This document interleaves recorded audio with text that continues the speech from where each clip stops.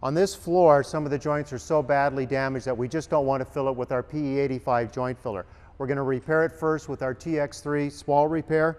So what we're going to do is come to this joint, and if you take a look, it's very, very badly damaged already. So we're going to open up the joint with our saw, clean it out, and then use our Spall TX3 with sand as a mixture, float it down in here, let it cure, grind it off smooth, recut the joint, and then fill with our joint filler.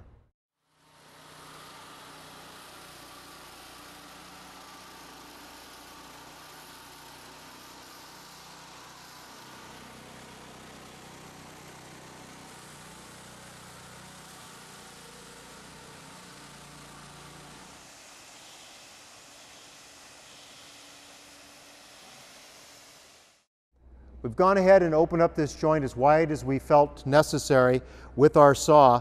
It's probably about uh, three quarters of an inch wide.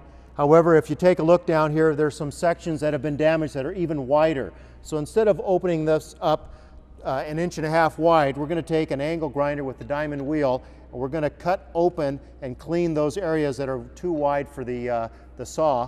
And then we're going to come in and fix it with our Spall TX3 and our sand.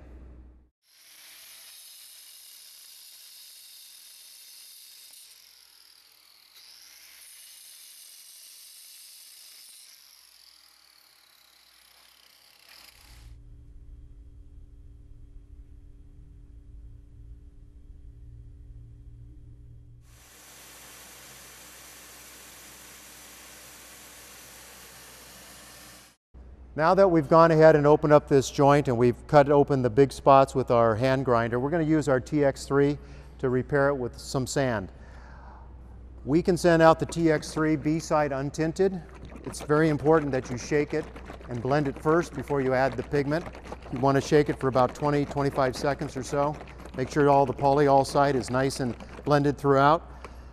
Then I just simply open up this side and I'm going to take the tint pack that we've sent out on this job, and we selected a gray color. I'm going to go ahead and put this tint into the container.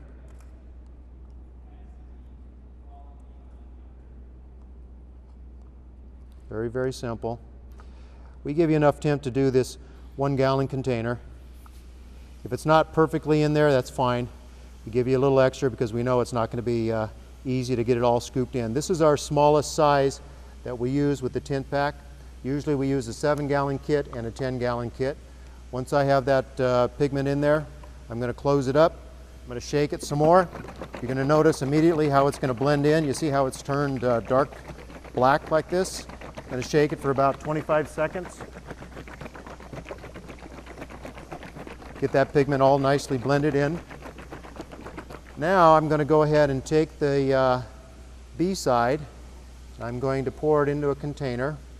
I'm going to measure out equal amounts of B side and A side. Here's my A. The A doesn't have to be blended because there's no pigment. It's just simply an iso side. Now I've got equal parts A and B. I'm going to take these two products and I'm going to pour them into a separate mixing container. Now this is the TX3, so I have some working time.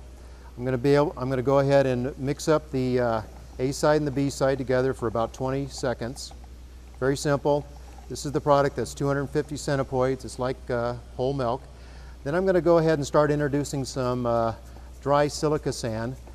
I decided to make a mixture of uh, 30 grit and 16 grit it's uh, better to have a mixture of sand when you're doing a repair. It actually makes the, uh, the product a little bit stronger in its compressive strength as opposed to just using one grit. So I've got a combination here. As you can see, I add a lot of sand to it to make it nice and thick.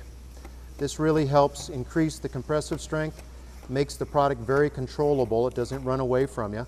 And it also makes it a lot uh, cheaper because sand is as cheap as a filler.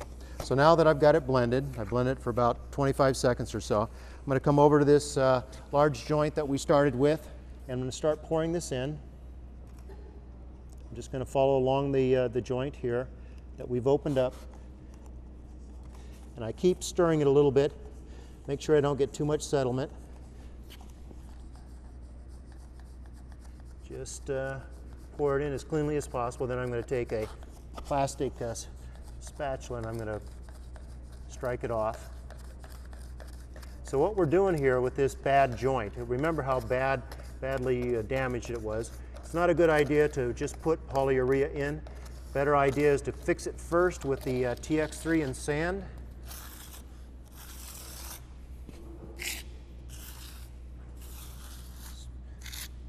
Take your excess and just fill in uh, down, down the joint. Since we have a lot of working time with the TX3, it's very, very easy to make sure that you uh, get the product where you want it to be.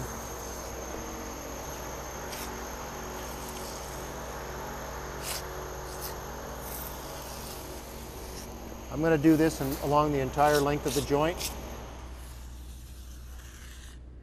Clean some of this up on the side. I'm going to grab my sand.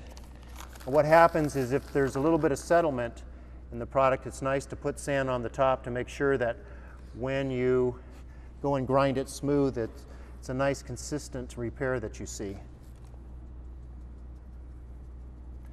Okay, we're going to wait about uh, 20 minutes and we're going to grind this uh, nice and smooth and then uh, after that we'll recut it. Now that we've repaired this joint with our TX3, this is uh, the cured product right here. As you'll notice, we need to grind this down, so we're going to use a small four and a half inch Zec wheel. We're going to grind this down nice and flush, and once we have that, we're going to recut the joint and fill it with our PE85 joint filler.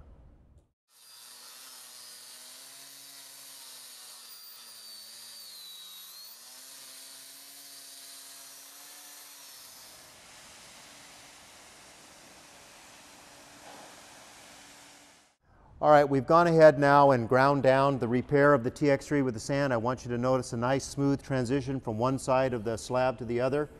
Now that we've ground this down nice and flush, we're going to go ahead and recut the joint through here because we want to always honor the joint.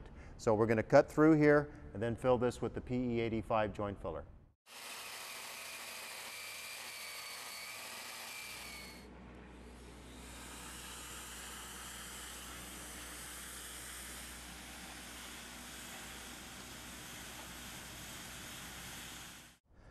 Now we have the joint cleaned out uh, with the saw and also we vacuumed it out. We're going to go ahead and install backer rod in this joint because it goes way deep. We suggest on a warehouse floor that you should go a minimum one inch deep. So a great way to control the depth is with uh, soft backer rod, which we can roll in very simply with a backer rod tool. So I'm having some help here, stretching the backer rod. It's very nice. I can control the depth with the, with the uh, roller. And now it's going to make a consistent depth and I'm going to fill the uh, PE85 into.